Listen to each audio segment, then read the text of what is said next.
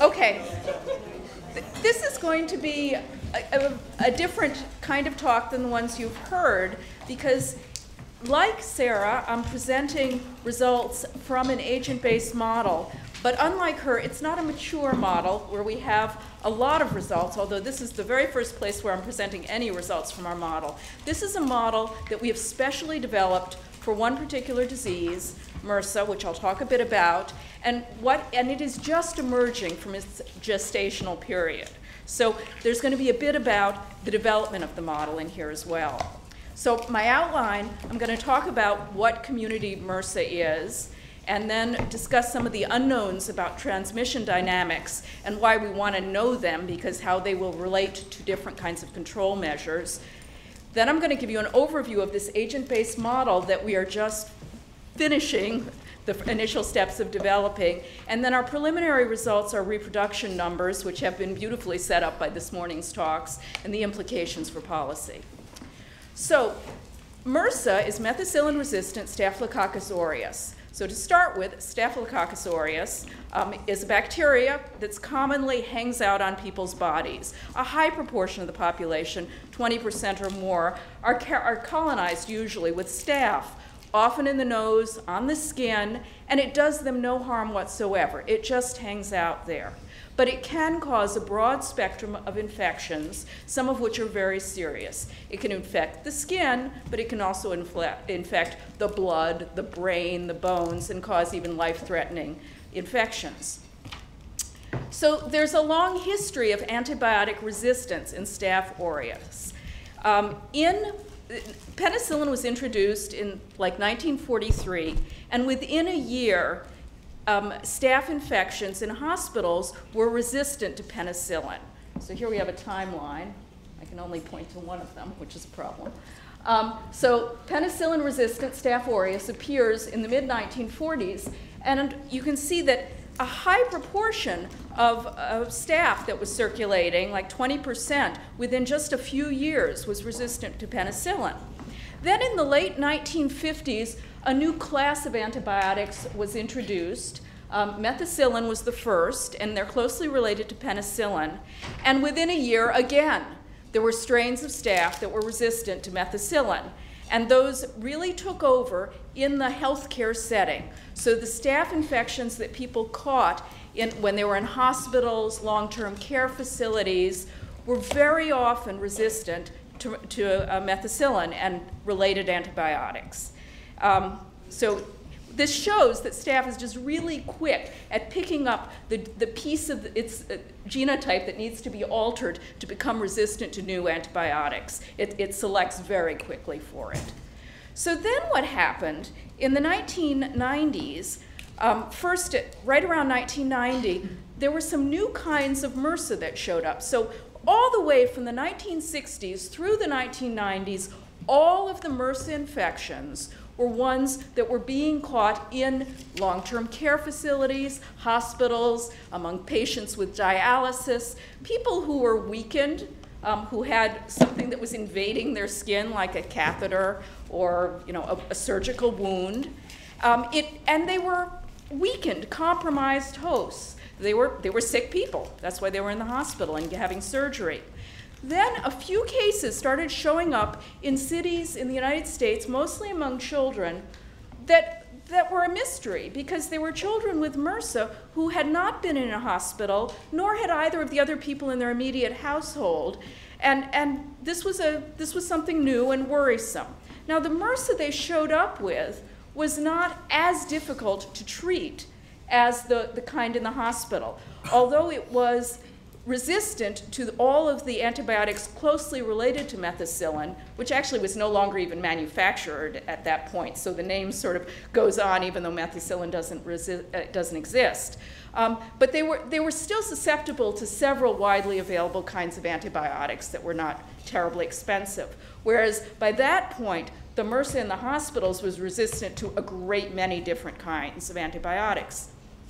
So there were this trickling of cases in the 1990s. And then around 2000, as you see here, they took off. And you start to see that kind of exponential increase as a proportion of all staph, right here from 2000 that, that you see in an epidemic curve. And people started to talk about an epidemic of MRSA in the community. Now, recently, that actually appears to have leveled off. And so I think it's not technically right for those of you who've had an epidemiology course to call this an epidemic, which is something that you expect to go down again, but rather that this was a new strain of staph which has become endemic at a very high level in the population, so that about half of the staph circulating, causing infections in the community, is now MRSA. So, just to sort of clarify these distinctions, because it gets confusing, and frankly, at this point, the community MRSA is showing up in the, in the healthcare environment, and, and so the distinction is getting a little less clear. Now, what probably happened in 2000 that caused that big jump is that a new strain, a completely new strain, it wasn't a, a hospital strain that escaped. It was a new strain that had been a very common kind of methicillin-sensitive Staph aureus in the community, acquired a little cassette that made it resistant to antibiotics. Um, it's called USA 300 is the name of the strain, and that's what took up took off exponentially. So the, the community MRSA infections, they're usually skin infections, but they can also be invasive and fatal. And even the skin ones sometimes get into people's bloodstream or some other sort of internal um, organ or pneumonia and, and can be fatal. They are rarely um, resistant to many classes of drugs, just a few. Um, and their high risk groups are different from the hospital ones urban children, early, continued high risk group, IV drug users, people with um, HIV, the household contacts of a case, and you've heard how households are really hotbeds of spreading infection, and that's definitely true for MRSA. But also people detained in jails and prisons, um, soldiers, uh, people in dorms sometimes, and especially athletes, so people who are in close quarters um, with contact. Now, this is in contrast to the healthcare, which I don't want to talk about too much, except to say that you know these again were people who were in weakened states, had had something going on in the hospital, which was invading their their skin. Um, the, the, the, the staph itself is a little different, and they had these risk factors that had to do with their health care, not with the demographic epidemiologic risk groups that we see for, um, for community MRSA. This is the least gross picture I could find of a skin MRSA infection, but it has these hallmarks, which causes people sometimes to confuse it with a spider bite. Um, it is the, it, it is warm to the touch. It's painful to the touch. There's a, there's a red area, usually around it, and it has pus. Um, it, it will sort of ooze on its own, or it can be treated. Um, if you go to have it treated, what they will definitely do is get rid of the pus, pack it, put antiseptic on it, cover it, you will likely get antibiotics, but not necessarily, and it's not absolutely essential that you do. Um, and, uh, and, and those things will help keep it from spreading. So the problem, part of the problem here is that we don't actually see all the MRSA cases. So there's this tiny tip of the iceberg that are these severe, potentially fatal cases, severe sepsis or bones or you know, pneumonia. Then there are a lot of skin infections that do come into emergency departments, and at this point, the vast majority of skin infections that people go to an emergency department with are caused by MRSA. Um, but there are a lot of skin infections we don't see. People just take care of themselves. And in the great majority of cases, that's fine in that they will get better on their own accord. And then there is this vast group who are colonized with MRSA now instead of the other kinds of staph, and we don't see them at all. And this is really important for figuring out how to model it and how to control it because you can catch MRSA, colonization, from both infected people and from colonized people. So most people had not heard of MRSA until this paper came out in 2007. This was a paper from a group of researchers at CDC, um, and it was picked up by every newspaper every um, TV and radio news show. And the basic reason it was is because it had a one sentence, horrifying uh, sort of nugget that could be that could be explained, which was that in the year most recent year for which they had data, which was 2005, their estimate based on hospital surveillance of invasive MRSA was that more people had died from MRSA than had died from HIV AIDS in that year. So that was the kind of thing you could say in one sentence and really caught everyone's attention.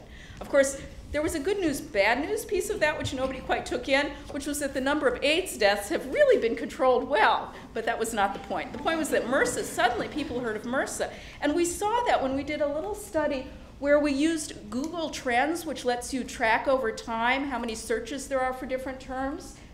That's that paper. See this peak right here? So here in blue are the weekly searches for MRSA on Google from 2004 through the end of 2008. And you can see that, that article come out. And interestingly, the number of people searching just for staph versus MRSA was tracking really well. This was a, an article in the New England Journal, actually. Um, and then you can see that that article had this true educating the population effect, that after that, this, this gap that opens up and a lot more people are searching for MRSA than for staph. And this is just, these are the hospital um, admissions with a MRSA diagnostic code, just to show this wasn't like there was a big outbreak right then. It really was the news story that caused this. So how to model it, we need to know about MRSA and how it spreads. So it spreads, we believe, almost exclusively by skin-to-skin -skin contact. This makes it a bit different from influenza and other diseases that you may see because just being close to someone won't do it. You have to really be touching them. There is a possibility that it also um, lasts on surfaces, which are called fomites, so that you pass um, MRSA to some, something you touch, and then if someone else touches it, if, it has stayed alive on there and someone else touches it, they might pick it up. And that could be part of what explains the athletic facility outbreaks, or those could be skin to skin contact. For now, and our model is just focusing on that skin to skin contact. And then, sort of, here are some sort of things that we have to have in mind. Colonization is much more common than infections. Um, some colonized persons will go on to develop an infection, but many will not. The, the colonization probably always precedes the infection, although it might be quite transitory. Um, the infections, especially if there's an oozing sore like you saw in that picture, are more likely to spread to other people than the colonization.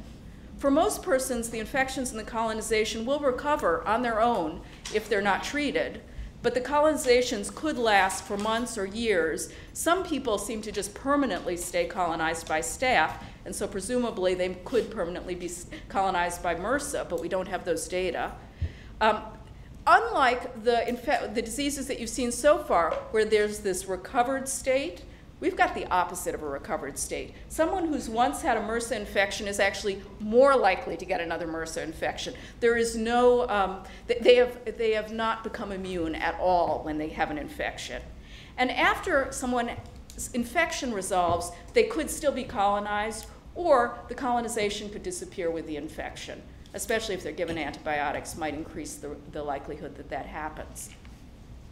So for control measures, and this is what the piece of the model I'm going to be focusing on today, what we need to understand is whether we can focus on the infected or whether we need to figure out a way to control the colonized as well. So the infected, even the infected is going to be a bit of a challenge because only perhaps a half of them come to medical attention currently. So it's hard to do anything about the people you don't see. But the colonized are this vast um, reservoir in the population that have no idea they're colonized and are perfectly fine. So if we had, so these are some of the control measures we might think about and which we would want to test in a model, their relative effect. And what we're hoping now is not really to eradicate MRSA, but to get that endemic level down, to just have fewer people with MRSA infections. So if we want to target the infected, we could be trying to do things that would cause people to seek medical care, more of them to seek it, and to seek it faster. Because once somebody gets the instructions and the care from a doctor, they're going to be infective for a shorter period of time, and hopefully less infective because they're going to follow instructions about covering the wound and not sharing personal items with people in their household. Um, so that's the equivalent of the mask, the Sarah's mask. Um, and we could also try to decolonize the infected. So there are special measures that are sort of surface things you do to somebody's body to decolonize them, um, which are not ordinarily done, but you could do that. Now, if we need to target the colonized, there are a couple different strategies. In Northern Europe, they have had great success keeping community acquired MRSA to very low levels by using a search and destroy approach. And the search and destroy means as soon as you see a case in the clinic, you, uh, you know, something comes to medical attention, you go to that person's household and you test everyone in the household and you decolonize them. So that's the search and destroy. It's, a, it's aimed at colonization but via an infection. The other approach would be to aim at the colonized, but not via an index infection. So at this point, so I mean, in theory, you could screen high-risk groups and decolonize them. Um, at this point in the U.S., there actually are some states that have mandated people coming into hospitals being um, checked for colonization, and you could have an aggressive policy of decolonizing them rather, you know, easily uh, embedded on what we're already doing, or you could do something else theoretically. So the susceptible infected recovered model that you've heard about doesn't work for MRSA for two reasons. One is there's no recovered phase where you're no longer susceptible, so it's a susceptible infected susceptible model, but it's not even that because we've got this enormous colonized group. So we've chosen to represent it this way. We've got uncolonized, colonized, and infected people. And in order to build our model, we need to have numeric estimates based on data for all of the probabilities for moving from one of these states into another state. So, so for example, what is the probability, A here, of moving from uncolonized to colonized conditional on your encountering some number of people over some amount of time who are themselves colonized or infected? Then, what's, once you're colonized, what's the probability that you're going to go on to get an infection? And then there's the, the ones in the opposite direction. An infected person could become uninfected, the, the infection could resolve, but they'd still be colonized, or they'd be uncolonized. And the colonization will naturally disappear in some people um, after probably months, and they would become uncolonized. So these are, we need all these parameters to estimate them, to estimate it. Now, this again, this issue of the colonized versus infected, what we're going to be aiming at here is to understand the relative contribution to the spread of, of community MRSA for each case who's colonized and each case who's infected. So in, in effect, and this has been, as I said, well set up this morning, we want to estimate the R naught for each colonized individual, how many other individuals will be colonized, and for each infected individual, how many new cases will result from each infected individual. Um, Sarah already talked about this, but just to briefly review, this is a case where there's, there are so many moving parts that we really need to work with agent-based modeling. And the modeling in our project is actually being done at Argonne National Laboratories, which is affiliated with the University of Chicago. It's nearby. Um, and it does indeed require extremely large computing resources to do that. So in the agent-based model, the agents are, are autonomous. They have behaviors, they make decisions. Well, in fact, they're not really thinking little agents. They have rules. And one of the first um, useful models that people put together with agent-based modeling was they discovered that they just had to formulate really simple rules that would, um, based on about birds, that would allow them to change the direction that they're flying based on what their neighbors were doing, and that they could show how the flocking patterns were successfully modeled with just these really simple rules that the birds had. And that's, I think it's a useful way to think about it. We, each of our agents has rules depending on what's going on around them, their own innate um, propensities to have different behaviors in different situations, and then they organize themselves, they encounter other agents and conditions, and that we see a pattern which we hope emulates what happens in real life. So they have these inter interactions with local information. We don't assume that they interact randomly like the, the SIR model generally does, but rather they have sort of set network patterns and that there's no central authority, so they're going to follow these rules and apparently self-organize. Now, the components that we needed to set up an agent-based model for MRSA um, this was a case, and Gary talked about this. Ideally, you would be able to start with a really simple model and learn something and then add pieces. This is a real struggle that we've had in building a model because uh, there, there are too many complexities in MRSA to start with something really simple. So we're trying to start with the simplest complicated model we can, but it's not that simple. Um, we had to move straight into the agent-based model, although we do have one of our uh, the computational modelers in our group who's been working on a differential equations model for, for the what we call the SCIS, the susceptible colonized infected susceptible model. So we wanted a realistic population with demogra realistic demographics um, we needed to pick a geographic location where we actually had incidence data for MRSA, which is a rarity. And this is the Gary's comment too about you got to study what you can count. And so we needed a place where we had some trustworthy counts. There are no great counts of MRSA for those reasons I showed you, because there's this vast group of colonized and um, people who don't go to a doctor. But we at least wanted a place where, where somebody was tracking the ones who went to a doctor. And that place was going to be Chicago, because we were there, and there had been three different university research groups who'd been working on uh, tracking MRSA in Chicago because it was clearly a problem. And then we needed to figure out a way to realistically represent skin-to-skin -skin contact. So we picked Chicago, which is, it's a great city, so here's my little Chicago plug, which you all want to move to and study here. So our agents we, we started with a synthetic population. This is what Sarah had too, which is based on the census. So we had the census data for Chicago, and we have this, this model of the whole city. Our model has a few extra traits because we thought they'd be really important for some of the public health um, things we wanted to test, and also because there was economic and racial stratification, which was really apparent for MRSA in Chicago. It was an inner city problem. So our agents have these demographics, age, sex, race, ethnicity, education, English proficiency. Then they have to be in households, because as you've heard, it's really important to be able to model the household, because a lot of the household is a hotbed of contact. And we also need schools, workplaces, and other locations. Now the physical contact, you, the, the article that you are talking about in your journal club this afternoon is the Polymod study. And they also were interested in being able to represent physical contact, although they're talking about flu, so they really don't make a big distinction between the physical and the close to close conversation. We, however, did not have a survey that was specifically about how much, you know, asking people how, who did you have physical contact with, how long were you with them. And so we took a different approach towards using empirical data to figure out that contact network. Instead, what we did is we used some data that, that had collected what people do over the course of 24 hours. And I'll talk about that on the next slide a bit more. So we move people from place to place based on their demographic characteristics um, realistically.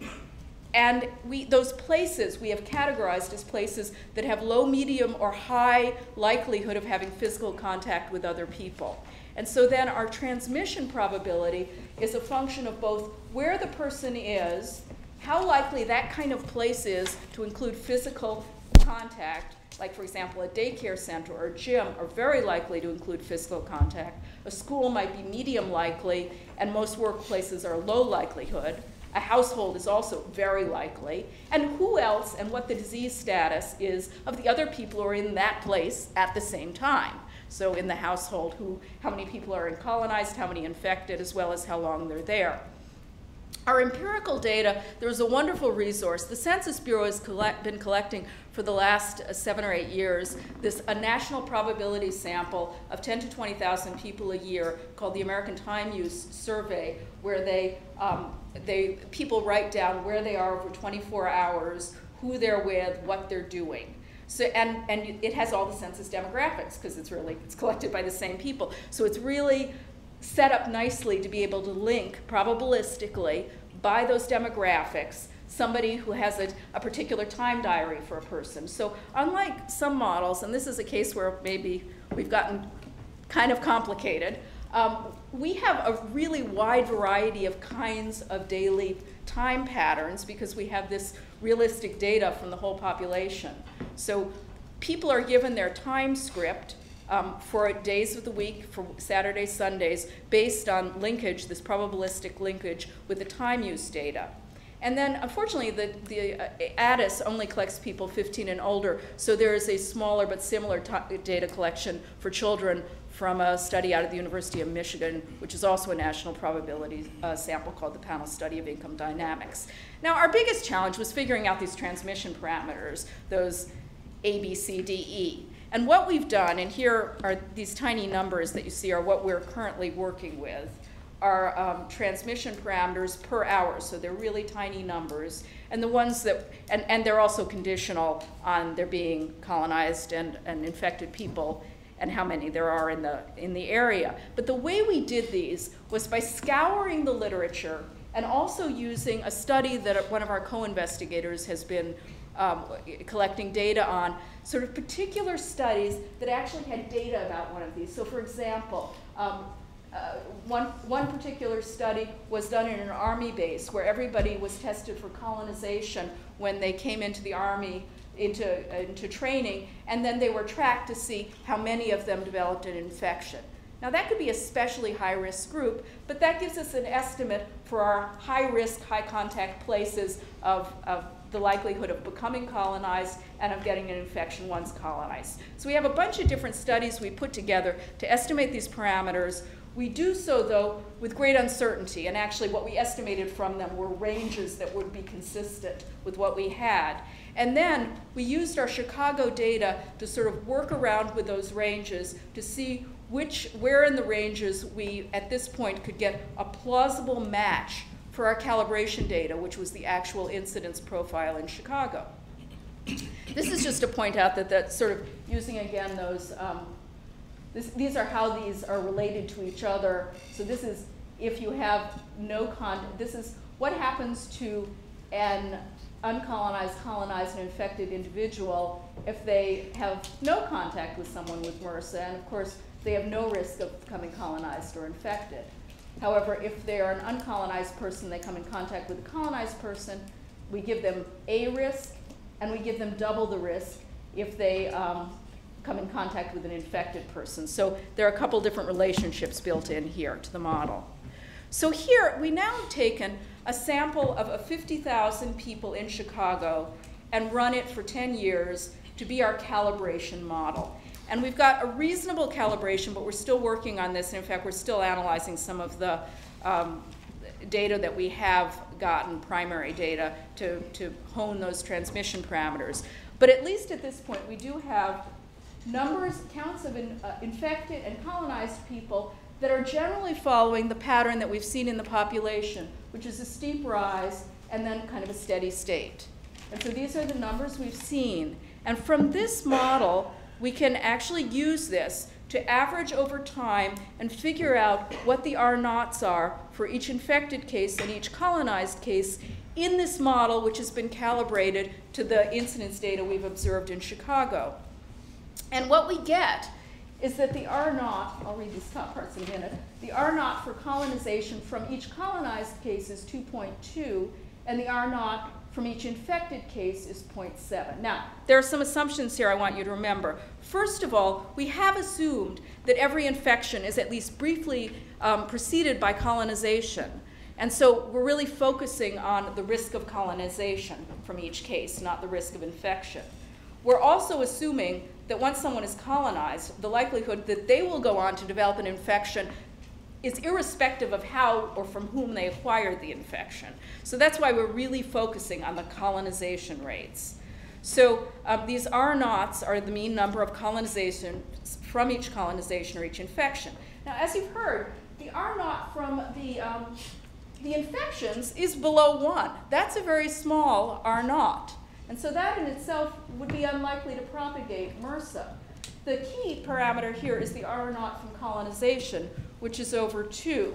And so this points us right away to the fact that the colonizations are going to be really important here for the spread of MRSA, which is quite a public health challenge since no one knows they're colonized, and because it's extremely difficult and expensive to go around swabbing people um, and doing all of the, what's a fairly elaborate laboratory procedure to then grow what's colonized and test it.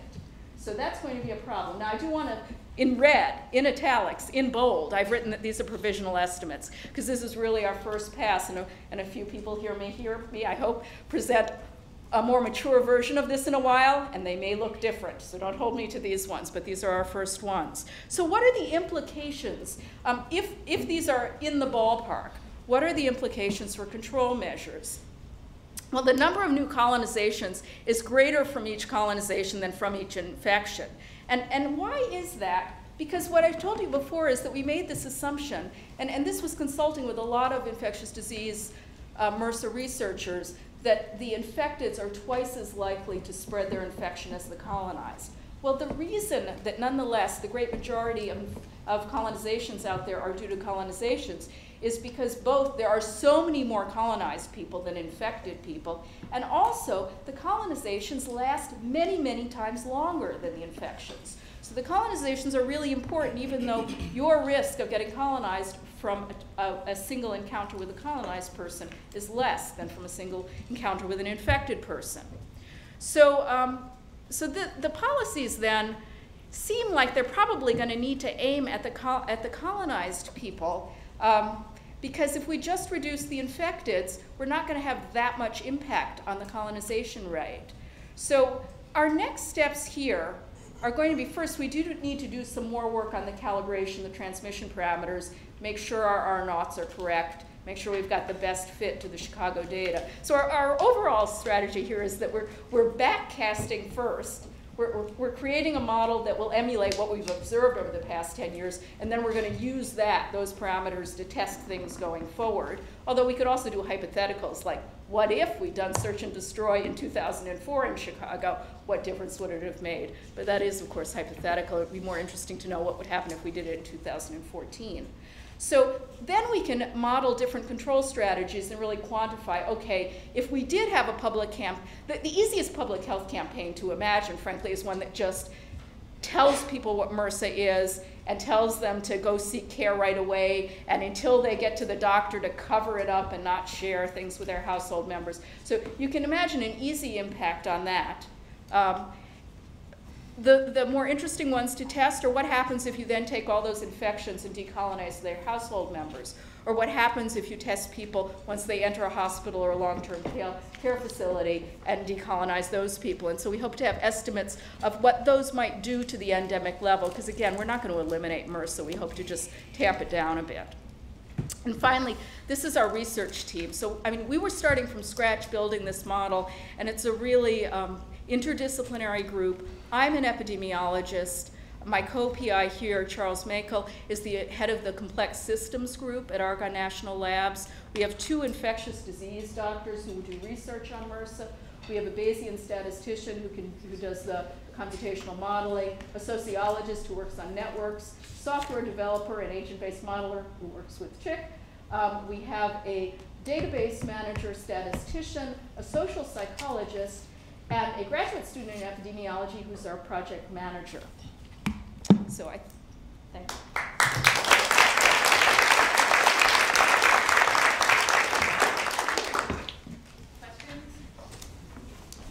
Yes. Um, I have two questions. So the first question is, how is being an epidemiologist like being a library scientist? Because you said oh, you actually read my biography? Yeah, I read your just... biography. Oh, okay. Um, yes? And then, and then the second question is related to your talk. It's um, so what are the main factors that lead a um, colonization to become an infection or that thing? And you, you were saying this was an inner city problem, so I was wondering if you had any um, ideas about how maybe social factors could lead to um, that issue.